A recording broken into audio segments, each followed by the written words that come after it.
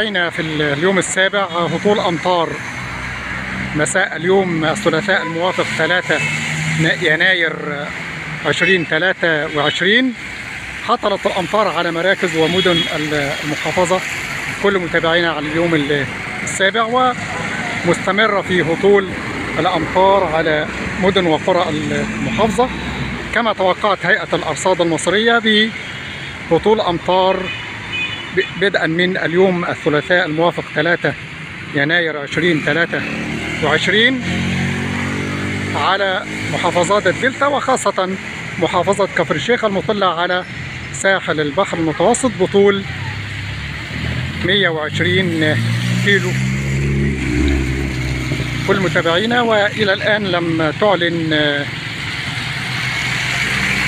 إدارة ميناء البرولس عن توقف حركة الملاحة البحرية في مياه البحر المتوسط أو بحيرة البرولس وكانت من الصباح الباكر انطلقت مراكب الصيد في رحلات صيد عبر مياه البحر المتوسط وبحيرة البرولس ومن القرى المطلة على ساحل البحر المتوسط. وبمجرد الإعلان عن السلام عليكم. بمجرد الإعلان عن توقف حالة الملاحة في مياه البحر المتوسط سيتم الإعلان عن ذلك كل متابعينا في اليوم السابع. زي ما أنتم شايفين سيولة مرورية برغم هطول الأمطار. المتقطعة أمطار متقطعة ما بين متوسطة إلى غزيرة. أمطار متقطعة ما بين متوسطة إلى غزيرة بتشهدها مدن وقرى محافظة كفر الشيخ.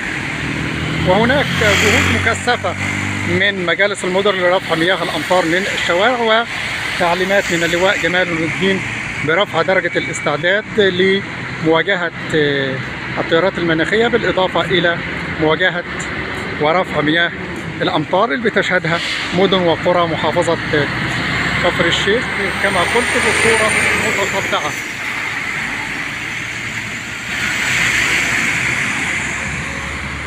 وما زلنا بنتابع مع حضراتكم كل متابعينا في اليوم السابع عملية هطول الأمطار المتقطعة على مدن وقرى محافظة